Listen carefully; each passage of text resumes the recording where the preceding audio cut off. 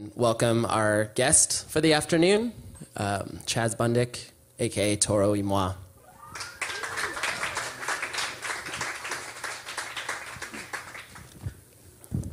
Up? All right, so I want to jump right into it by, um, you know, your music's interesting and all that stuff, and we'll get to that. But I want to ask you about your hometown, because you're from Columbia, South Carolina. Yeah. Which, you know, kind of like Phoenix isn't necessarily known as like being like some cutting edge cultural Right. center or anything like Yeah. that. But obviously, you know, you've, you know, garnered global acclaim and stuff like that. But what was it like growing up in Columbia? Um, it's a small college town, so it's pretty dead in the summer, and uh, it's busy during the school years. So, I think, you know, a lot of us growing up, you know, the more artsy kids or whatever, the skaters, we would always hang out at, you know, whatever we could really find, skate parks or coffee shops or something. So it's not much to do. House But- shows and stuff or something. Your parents um, aren't from Columbia originally. No, yeah. Uh, my mom's from the Philippines. She moved here when she was 18, and then my dad's black, and he lives. He's from Virginia. Did they did they meet in South Ca- in South Carolina? No, they met in college, uh, actually in Maryland. And then what drew them to the wilds of Columbia? Family. Ah, Yeah. okay.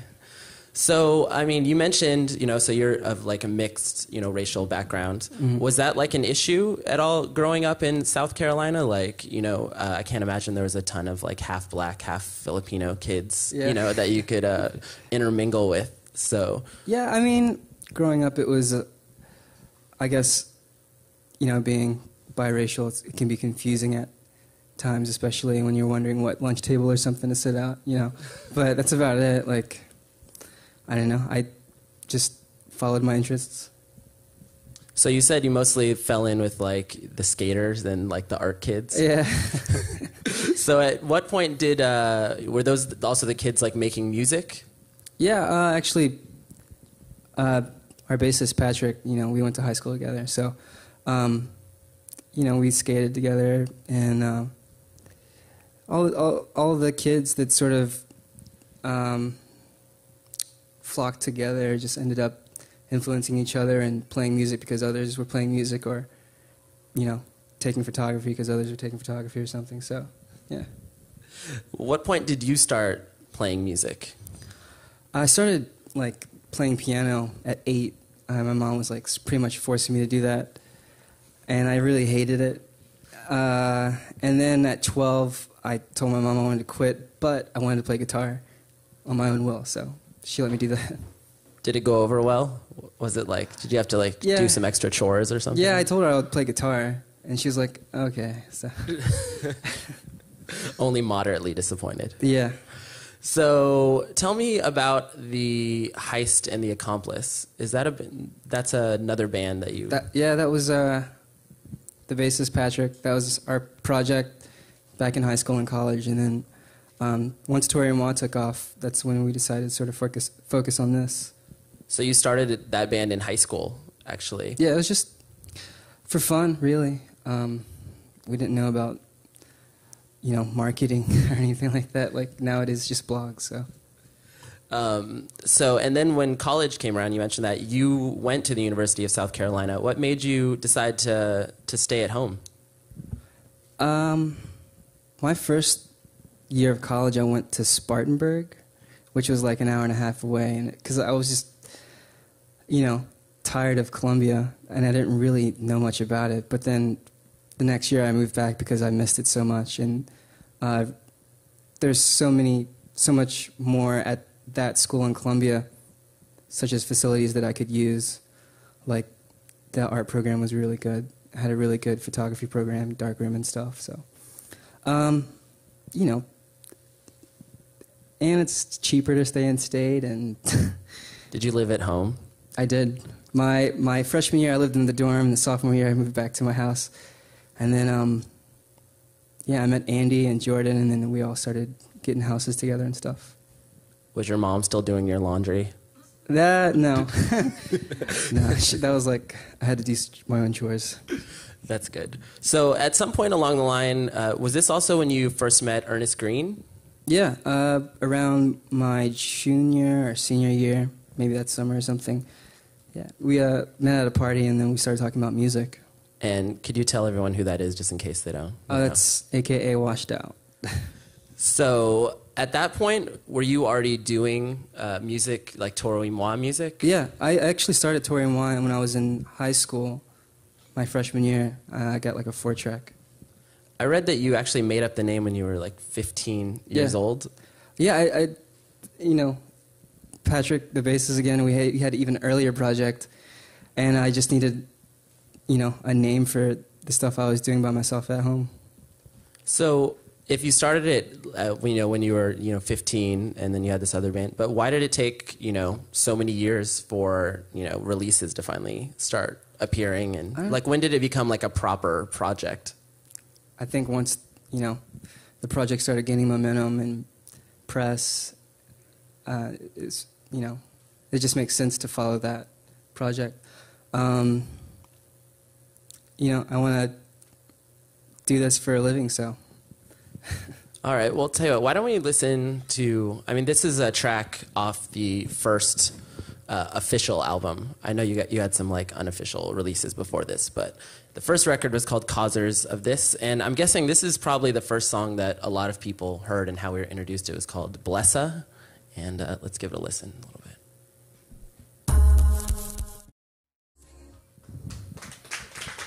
thank you. So that was the first track off Causers of This, and I just want to ask you about like the process of of making that album because you know before you were you know in a band format with the Heist and the Accomplice, and this you pretty much made on your own. Yeah.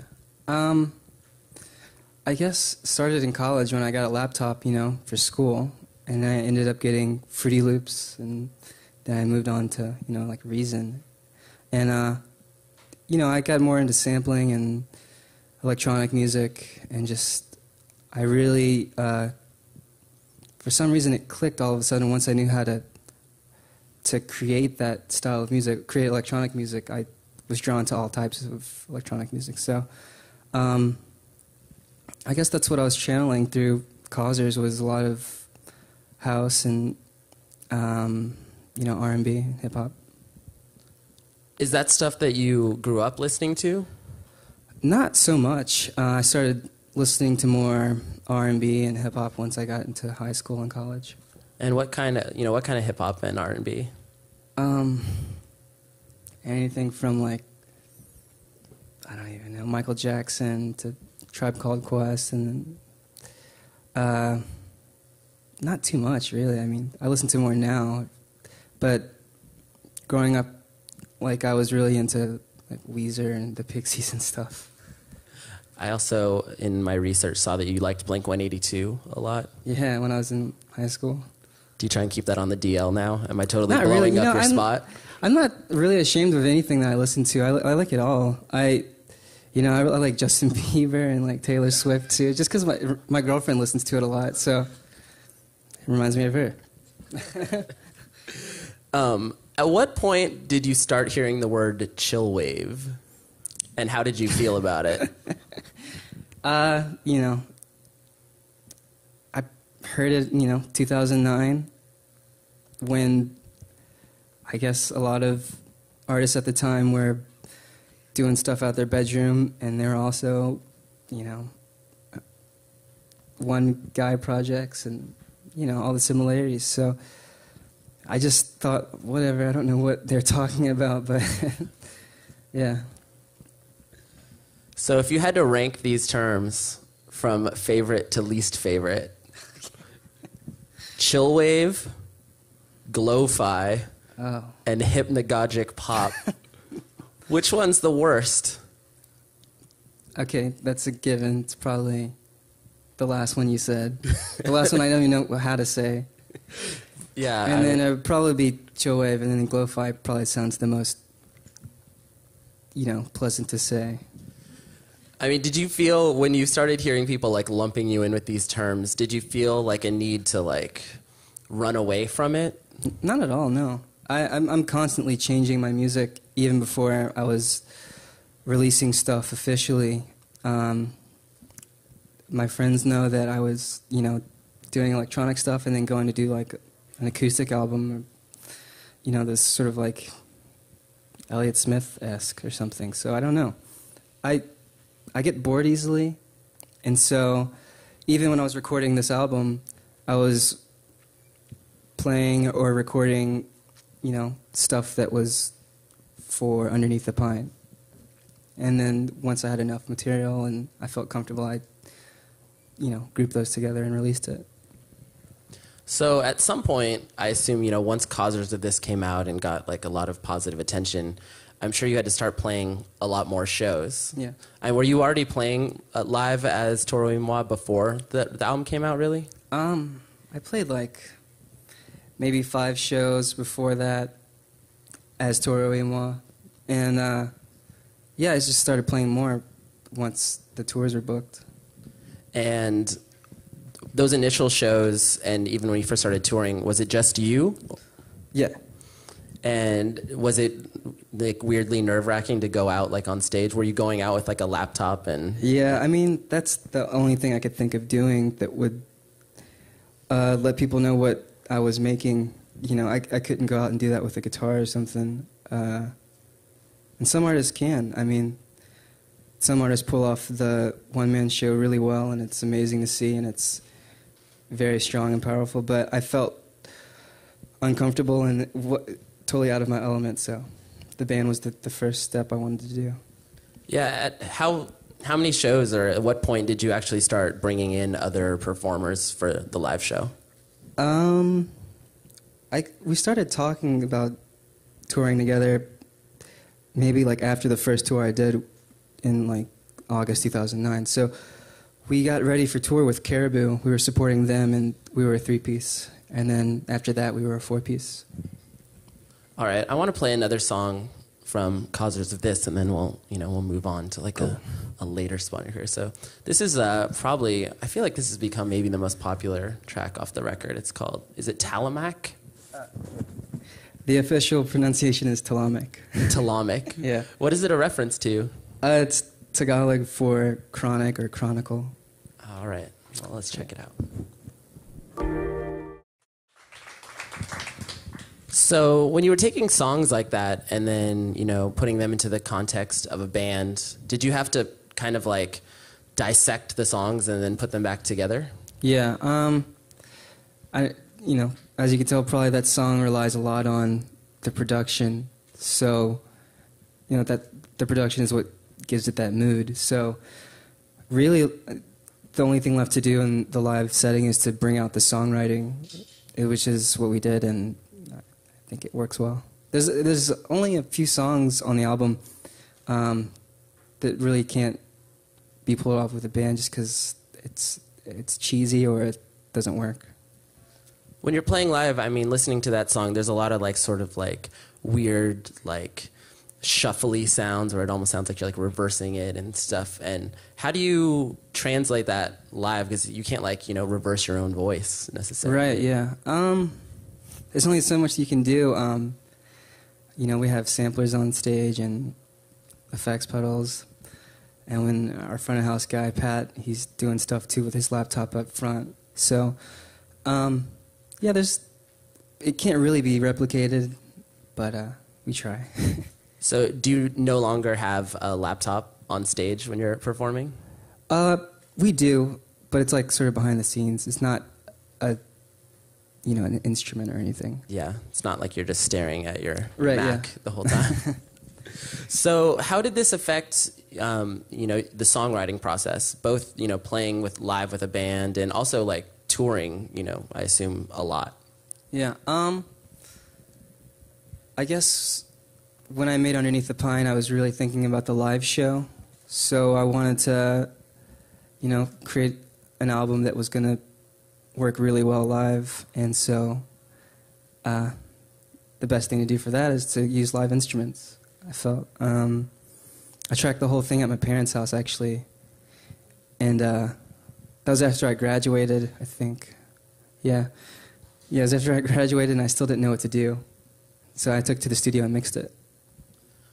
I saw that uh, in a previous interview where you said that halfway through the process of, or maybe it was after you had made it, you basically like scrapped half of Underneath the Pine, Yeah. and then went back and redid it.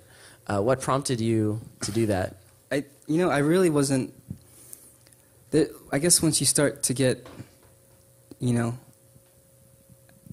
noticed and I guess to a certain status, you start wondering about fans and gaining fans and stuff like that. And then the material that I recorded before that was very folky and anti-folky and just a mix of things that I've done before and that I was used to. So I thought that the best thing to do to bond, you know, my two different styles was to find some sort of segue or some genre that would work best, and I found that like funk and disco worked as that medium. All right. Well, why don't we hear something off the final product, and then we can talk more about the process of making the record.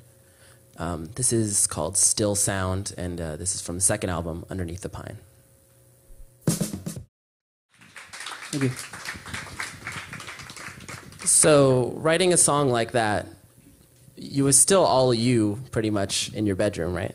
Yeah, I moved all my equipment actually to my parents' like piano room. So, yeah, But um, so like it sounded a lot more like you know it sounds like a lot more full and real, and that's because Yeah. is everything on there, or how much of that is like real instruments as opposed? oh, it's hundred percent. I mean, there's like a kick drum in the background that's looped over and over again, but you know, that's about it. When you were making Underneath the Pine, did you feel? I mean, you mentioned that you were thinking about like your fans and how you're perceived.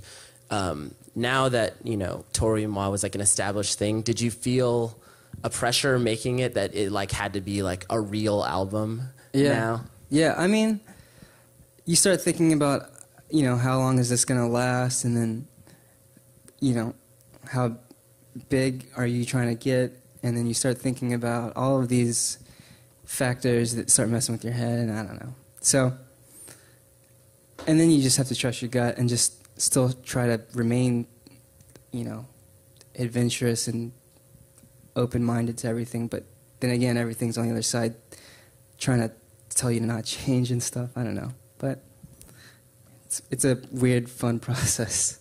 I mean, did you find it constructive then? Like, were you like, you know, checking the blogs and being like, oh, what are they saying about me? Yeah, And, doing like- market research. No, yeah. Or were you trying to like shut that? I mean, it sounds like you weren't necessarily shutting it all out. right. I mean, like, you know, at the same time, you can't just be totally oblivious to what's going on in the music world. Um, you know, I always do that whenever I start making a new album. Even I, I started working on the next album, and so every time I start, or when I say it's like, okay, this is it, I, I start a iTunes playlist. You know, call it album three, and I have like MP3s of all sorts of stuff, um, from old '70s stuff to you know some of the, the newest production techniques that I like. So for Underneath the Pine, what would you say, you know, in terms of influences then and what you were like drawing from, how is it different than your previous, you know, releases? Did the you in- the influences. I mean, like for Causers, I was really um, into sampling and um, incorporating the whole shoegaze element to that. And then, you know, like I was saying, I was looking for that segue. So I pretty much was for the, underneath the pine. I was influenced by what I was sampling, pretty much, which was soundtracks and uh, funk and R and B and disco. When you would, uh, you know, see yourself being compared, you know, and lumped in with other artists, like under the Chill Wave umbrella or whatever it was. I mean, I, you don't have to name names, but would you ever see other artists and be like, "I don't sound anything like that guy"? Of course, yeah. I mean, no one thinks that they sound like anyone, but you know, people will find comparison. I mean, find similarities. But then again, like Washed Out is someone that you were you were friends with as well. Right, And I feel like And there's the- like a similarity there. I totally agree. Yeah, I mean, like we influenced each other and taught each other things before you know this this whole thing picked up. So I could totally understand that. And then, so after Underneath the Pine came out, pretty quickly thereafter, you put out another like substantial release, the Freaking Out EP. Yeah. Uh, what prompted you to, you know, why don't we play something off Okay. it and then I want to ask you about it. So this is, uh, I think this is the first track, All Alone. Yeah. All right, this is the first track off the Freaking Out EP.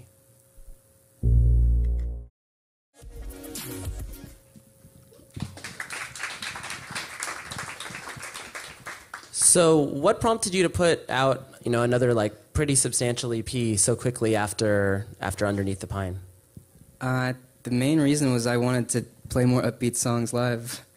So, yeah, I mean, on Underneath the Pine, there's a handful of songs that, you know, are actually like danceable as opposed to just like a moderate tempo. And then, uh, and it's that or it's instrumental. So, um, yeah, we wanted to play, you know, more funky and upbeat and get people moving live. So, again, the live show influences how I'm writing. Um, it's just weird. Um, so, I mean, obviously, you know, there, you're pulling from a lot of like sort of like retro sounds on there. There's, you know, Yeah. like definitely disco elements. Um, you know, a lot of like kind of like '80s boogie, R&B, Yeah. funk kind of stuff going on. Even some, you know, Daft Punk kind of French house, you know, things going on. How do you, you know, revisit these sort of like retro styles without, you know, sounding derivative or, you know, just being like becoming like a nostalgia, you know, Right. act? I, I- you know, I like when I go back to my playlist for all the albums and stuff. I there's, I even change the title on them and write down what I like about a certain track. Um, uh, sometimes the sample influences how the, you know, that song started with that Floor Tom Snap sample. So like, the whole song was based off of that, and that sort of just took its way. And I think that's not even a disco song. That was like a, like a crowd song or something. Are most of your, you know, sample things, or even just if you're listening to records that you like, um, do you tend to pull from like really obscure sources, or do you listen to a lot of sort of like you know more mainstream stuff from those eras as well? Yeah, I think the fun part about sampling is, you know, puzzling people and seeing if they can figure out what it is. So, you know, it's always fun to get the weirdest, most obscure samples, even if it's just a four on the floor beat. Do you ever get like Uber fans being like, "I know that snare sound is you know Yeah, I- the blank." I, I, think a couple of people called me out from colleges. They, they're like, that's like a reason preset. I was like, yeah, so. Oops. but yeah, now I'm, you know, trying to avoid that. And uh, that's just the fun part. So were the songs on Freaking Out were those written then after Underneath the Pine or were they from, you know, similar uh, like same sessions or No, yeah, that's all after Underneath the Pine. and you just like I mean cuz I think Freaking Out came out like 6 months or something, not even yeah, I- after. I, wrote it in February 2011. So that was like right when Underneath the Pine was coming out. Yeah.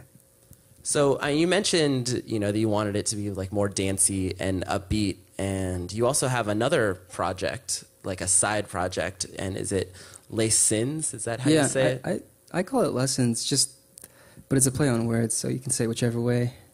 Lessons. well, I mean, you get to is- decide. it's it's your Yeah. project. lessons is probably the most PC way to say it, but I had the word lessons in mind. And uh, what prompted you to, you know, have a whole nother side project?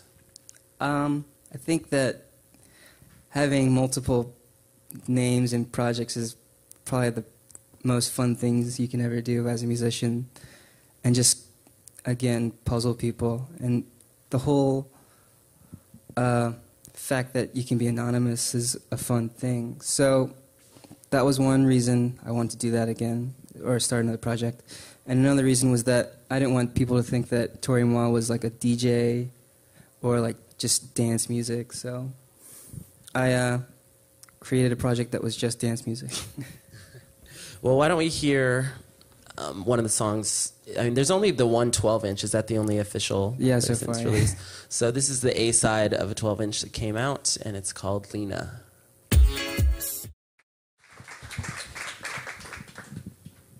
Do you really like Daft Punk a lot? They're all right. yeah, I love them. Yeah. Um, I mean, there's definitely a lot of that sort of like French touch, Right. you know, French house sound in there. Um, and it, I mean, it reminds me a lot of like their Discovery album. Right, yeah. I was listening to that a lot at that time. Um, a lot of. That's when I was first discovered, you know, electronic and house music. So, again, that's what was, was being channeled through that. When you're making these songs, is this something that you've gone that you go back to your laptop and are doing, you know, all you know digitally, or is there organic elements in there as well? You know, that's like one of the first experiments I did, and so that's all on the computer. Um, you know, there's some MIDI stuff in there. I'm playing keys, but uh, I think now that I'm more comfortable and I, I feel like I'm more skilled and educated on, you know, the rights and wrongs of certain things, whether it's like production techniques or even like songwriting stuff. Um, there's things I'm willing to try.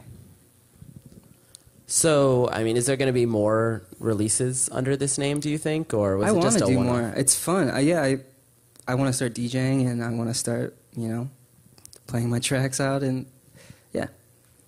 And have you actually have you done any like proper club DJing or like beat Yeah, matching? I've done a few, Like yeah. Um, on tour, there's you know after parties or something that we'll, we'll DJ, and sometimes it's just me, sometimes it's all of us. We do like a night out of it, but uh, I think um, that whole environment is like completely different, and that's what I love about having that side project. Yeah, I was gonna ask, like, how big of a role would you say that like electronic music of this style, like you know, more club-oriented house, you know, whatever, how big of a role does that play in your life? Is it something you follow obsessively, or is it just kind of a you know whatever comes along? I've sort of become obsessed with it. Before I was just sort of into you know what people are talking about, but now I'm like, you know, checking the blogs all the time and even reading ones that aren't in English and stuff just to see what I can find. But yeah, I mean, it, I'm I'm about as into it as I think I could be. Do you like uh, you know buy records or any of that stuff? Um, I don't buy vinyl like house music or anything. I or like singles. I because I'm not really DJing or I don't even have a setup. So uh, I think the only vinyl I buy is maybe or maybe uh, reissues or something. What uh, scenes, or I mean, and this could be current or it could be, you know, from the past. Like, what uh, pockets of electronic music or dance music, if you want to call it, would you say are like most interesting to you? Um, probably deep house and French house. Um, I think a lot of the new stuff I've been playing with space, and so uh, just sort of trying to mimic those elements of space and that I hear in like deep house. So then, when you go back, you know, because you're still doing Toro y Moi the whole time, and that's like a band, and it's pretty much all instruments. Do you ever go back to that setup and be like, "Oh, this is boring. I don't want to make a pop song." Yeah, I mean that's when I'll go and do something else, like just play with my loop pedal or something, and or sometimes I don't even mess with music. If if you're not feeling, you know, creative in that field, just go away from it. I'll go, you know, mess with my photos or something in Photoshop, or you know, start working on a design for something. Um, yeah, for a while, you know, I think for underneath pine, like when I threw away all that old, the first material I had, there's like a couple of weeks in between where I just didn't do anything, and I tried to go back out and socialize. But when I got back in the groove, I didn't even talk to anyone really or go out. I, I, I don't really go out when I'm working on music, like when I'm when I'm in a, the album mode, you know. So, I mean, it seems like when you started it, you know, Toro y Moi, and like even when the first album came out and stuff, you seemed to mention that like it just kind of happened, and then all of a sudden you were playing all these shows and stuff. Yeah. But at this point, do you think of yourself as like, I'm a musician. This is this is what I do. This is my career. Yeah, I I'm making a living off of it, and it's really awesome, and I like I'm really thankful for it. So it's really cool. It's happening. I want to ask you about like the realities of being, you know, a quote, you know, indie artist in Yeah. 2012. Because like as far as like that scene goes, I mean, you're the kind of artist, you know, you get written up, you know, anything you do, you know, like it's a news on Pitchfork, Right. or you know, you're doing tours like all over the world. Really, is but I imagine like you're probably, you know, you're not going to sell a million records Right, yeah. or anything like that. So, is it like really like financially sustainable to be, you know, an indie act in in 2012? It can be. Um, when I first started playing shows, I was solo for the first two tours, um, and that was, you know, that's when you can be on the road for a month making hundred dollars a night. And this guy knows. He he brought me from, you know, since 2009 to Phoenix, and now here we are. So like, you know, when I was solo, I was playing for hundred bucks a night. I was paying for gas, and I was just driving by myself in my Ford Focus, and uh, you know, I would invite friends along to help me drive just because it, it can get ridiculously tiring. Uh, and then when we got to that move where we're getting paid more, it, coincidentally, I was ready to make that move to have a band. So we've been fortunate, fortunate enough to have really awesome timing. So, how much touring is involved in your in your life like these days? I'd say maybe eight months, seven months out of the year. It's pretty rough. Do you I mean, do you enjoy it or is it just like something you've got to do? It's yeah, it's something you got to do. You know, you don't want to go back to working at the bagel shop or anything like that. That's what I was doing. Um, you have to make ends meet. and You have to pay the bills, and so touring is fun and not fun because you get to see the world and you get to see all these amazing exotic places, but you're only there for maybe 10 hours. I think the first time we were in Italy, we were there for eight hours. I mean, it's, it's bittersweet, but you do get to see where you want to go back to. So, So now when you go and talk to your mom about your music, is she okay with you not playing piano anymore? well, yeah, she says I'm playing piano, but like with your parents, I'm curious like are they like, "Oh, you know, this is our son, he's a musician," or are they still waiting for you to like get No, a no. real job? they they are very into. My mom has me on her Google Reader, so she like tells me every time I'm on Pitchfork or something. I'm like, yeah, I know, I saw it too. so, um, Is she getting on like message boards like when there's a bad review and like uh, I think the first time I told her I was on Pitchfork, she didn't really know, but she was super excited that I was in the Columbia Free Time Weekly. so, I can still see that, um, you know, that jump that of what older people know about uh, the biggest, the big media circuits. You know. Yeah. So, I mean, I wa- also want to ask you about, you know, when you started making music as Toro y Moi, it was pretty much, you know, just you in your bedroom and stuff like that. But as it gets bigger and it progresses, like, how has your, you know, your process evolved in terms of like your gear that you're using? Like, are you using like a, an elaborate setup? Are you recording in real studios now? Like, Right. how much is it like a real, you know, quote band? You know, Uh, we practice just like any other band, and it sucks sometimes because you have to play it, you know, 20 times in a day when you're learning a new song. Um, sometimes you have off days and everyone's messing up on stage or you're having power issues. But then again, it's a, you know, everyone's playing an important role, so it's very much a band.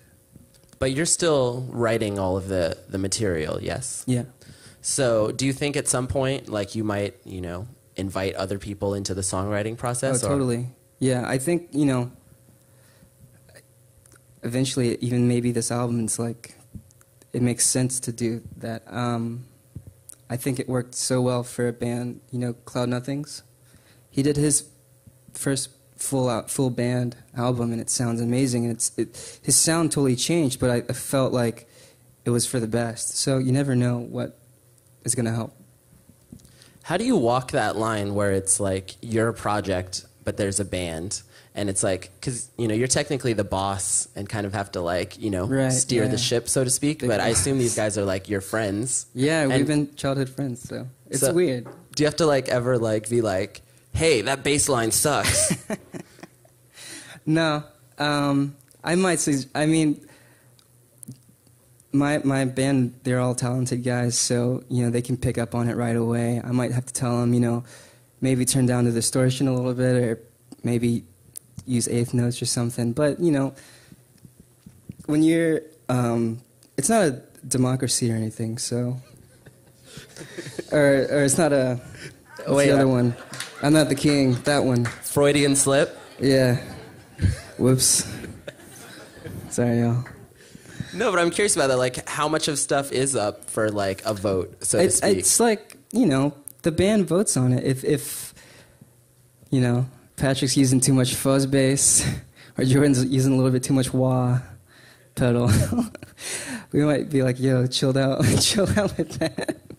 There's been times where you know we we'll like you know we'll have to take a break because we're arguing so much over something, but it's all in it's all for the best. So you know. so you don't get like veto power just because it's like I do. band? I, I'm like, if I like, I'm just like, no, I don't want to play that song today. Then that's, fortunately, that could be my call, because I have to sing it, and I don't want to sing it today or something. But I, you know, it's, uh, I try to make everything equal. I'm not. You just seem like a total freak. tyrant, like a total power maniac. Yeah, it's a weird situation. so, what is uh, you know, what are you guys doing right now? Like, is there another album in the works, or Yeah, there is. Um, this is actually the first album where I'm gonna just take my time and not have to set a deadline and write in between now and that deadline. So um, I've been going to the studio already, and I'm doing it in the studio, of course. And so it's a new environment to be there. I, I don't know exactly what I'm into yet. Um, so, yeah, it's coming along. where do you see it going? Like stylistically, do you want to? Do you think it's going to continue sort of on the dancier vibe of freaking out, or I've, you know, I've always wanted to keep previous or keep um, people that are already fans interested in what I'm going to do next. So it's going to be very. I think if you like the first two albums, you're going to like this one. So, um, but then again, it's gonna. I'm always trying to gain new ears as well. Okay, cool. Well, I think why don't we open it up to the audience and see if anyone out here has any questions for Chaz. So, if, I guess you can just you know raise your hand or What's up, man? How you doing? All right. Um, I have a question. Um, how important is side chaining in your music when, when you're using electronic stuff? Uh, I wouldn't say very important. That's you know something that I messed around with for the first album, and then I wanted to just leave it alone. F- I don't know for how long, but it's not important at all to me. I think that um, I don't know. It's just that was just mainly an experiment for Causers. Yeah, for the fir- for that first one. Yeah. Yeah. Okay. Cool. Hey, what's up, man? What's up, dude? Hey, um, I was curious. Um are you a big fan of psychedelic music? I hear Yeah. a lot of that in, and, Yeah, uh, yeah, in totally. all of the music, like across the board. And and I was also wondering, um, like, what blogs do you like and um, to check out music and stuff? Um, I wish I had my computer with me on stage. I I like uh, you know I've really been looking at like a lot of YouTube channels really because um a lot of the blogs you can't even download them anymore just because people's people are scared of posting MP3s. So um, there's a lot of YouTube channels that I can't even pronounce because people just make up weird screen names. But Bleep is good for electronic music. I, I, I don't really know too many um, psychedelic blogs or anything though. Uh, psychedelic heroin is one I would recommend. What was that? Psychedelic heroin is one that I would Okay. recommend. Yeah, uh, CaptainCrawl.com is awesome too. Cap and Crawl. Thanks. How you doing? How's it going? Uh, so my question is related to when you started performing by yourself, just with a laptop. Right. Like how much, like, because you're singing the songs, right? Uh-huh. Would you primarily focus on those songs that you were singing, and would you only be singing, or like how much would you extract from the instrumental uh, Right. to perform? I would take out all the keys and I was playing the keys live and just singing on top. Um, I think that was the only thing I felt like was working. I wasn't really into dancing or like interacting with the crowd or anything until recently. So, Well, I want to ask you. Actually, that brings a point where how important are you know lyrics in your music? Because you mentioned that you know you're getting more into like dance stuff, and that's Right. you know a world where like lyrics and words don't necessarily matter, but your songs are also very pop, and like the vocals are in the forefront. So right. Um, lately, I've been trying to focus more on lyrics just because they are coming more towards the front, and I don't want them to be so mundane. I don't know. I feel like a lot of the records from a lot of the lyrics from the first records, they, I wasn't trying to write like poetic or anything. I was just sort of just writing and not trying to avoid reiteration or anything like that. So, and then I think people ended up liking it the way it was. So, I don't know. I try not to change my technique too much because it works. are your lyrics you know usually pretty literal? Are your songs like about certain people and certain things? Right. Yeah, I like that. I have, you know, a lot of songs that are like that, but then I, I enjoy songs that are just straight up weird and you don't know what they're talking about or they're about some sort of character, you know. Um, I, I really like Frank Ocean's song Novacane and how he talks about just meeting this girl at Coachella and just doing drugs. And I thought it was a really cool concept and I've never like thought about lyrics like that. So that's one of the inspirations or one of the songs on my playlist for this album. Anyone else in the audience? There we go. So, uh, what's on that iTunes playlist for uh, the new album? What's in there? Um, it, you know, it's weird because stuff. The thing, like I have like some uh, like movie soundtrack stuff, but you know, I'm focusing more on the chords that they use, and not really the production. I feel like a lot of the you know 70s stuff that was in the playlist, playlist for Underneath the Pine was more for the production, but this is more for the songwriting. Um, so like that, and then there's some Kanye West in there. um, I really like uh, Watch the Throne. I thought that that was really, uh, really pushing, you know, mainstream hip hop boundaries. When you're in album mode, do you find yourself listening randomly to music differently? So you, or does it just pop in your head? This Yeah. would be good for the. Yeah. Um. I, again, I guess I just listen to it for different elements. Like I'll, I'll have, um, you know, like a Flying Lotus song in there for like texture, just because I like the way he was using his space, the way he would sometimes doesn't have any space, and everything is, you know, just uh, sewn together. Um, so that, again, I guess I just listen for different things about different songs from different songs. What kind of stuff are you listening to when it's like, you know, not listening for chords or listening for instruments? like when you're just like, I want to listen to something that I like. It's probably gonna be the newest song I just wrote. I'm like, I am sure like other producers out there do this too, and songwriters. You're probably constantly listening to your stuff. If not, I guess that's that's fine. But I'm constantly critiquing myself and seeing what needs to change, and what I would want to do. Um, seriously, like I've given, I've woken up with headaches just because I've been listening to my headphones way too loud and just listening to like the newest song that I've made or something. Um, it's been a while since I've like just listened to someone else's music um, and just sort of just soaked it in because of the mood it put me in. so does that mean like from the time you first record a song to when it goes on the album, does your average song go through like 74 different versions? Yeah, I'm. By the time the album comes out, I'm probably tired of the song. That's why I'm writing writing a new song already or a new album already. But uh, yeah, I, I, I don't know.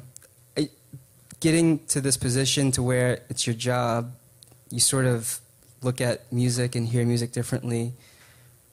And uh, I used to listen to my music, and it's probably bad, but I used to listen to my music to sort of, you know, put me in that mood. And now I feel like that's sort of going away, and it's more just like, you know, checking my homework sort of now.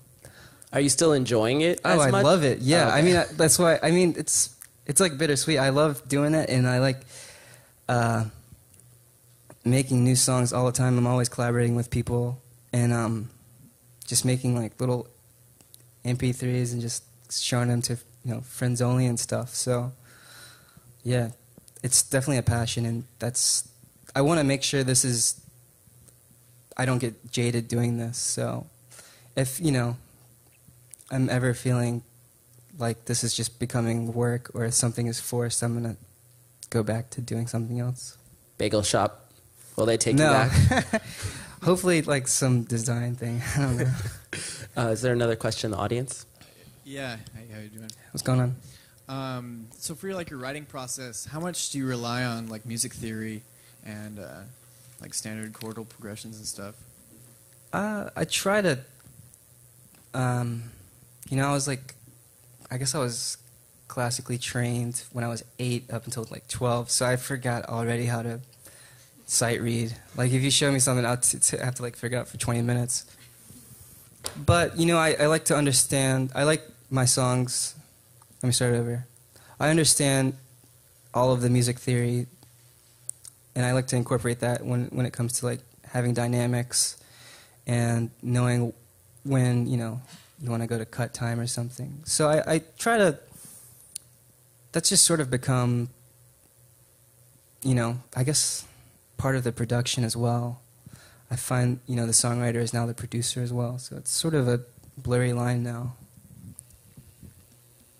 Is your production? I mean, I assume like a lot of your production techniques are self-taught Mhm. as well. Like, um, ha- are you still kind of just like piecemealing it together, like how to use programs and, and stuff like that?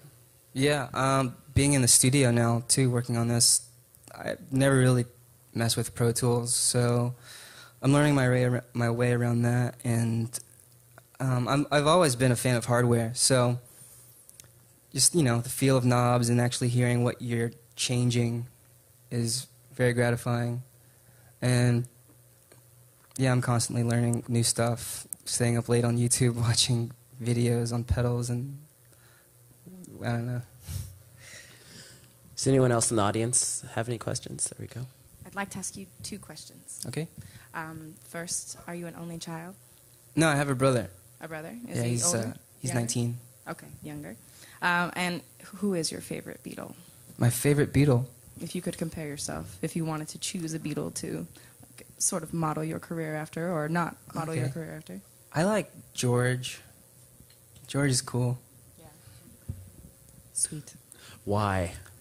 Why? Because George was the one that changed the Beatles. I feel like he, be brought in he brought in the Hare Krishna. but I think Paul is my favorite songwriter. Anyone else in the audience have any questions? All right. Well, then, Awesome. why don't we? Uh, of course, Chaz is going to be performing with the full band later tonight, right here, so everyone can come back. But let's thank him for coming out and sitting on the couch. Thank you. Toro y moi.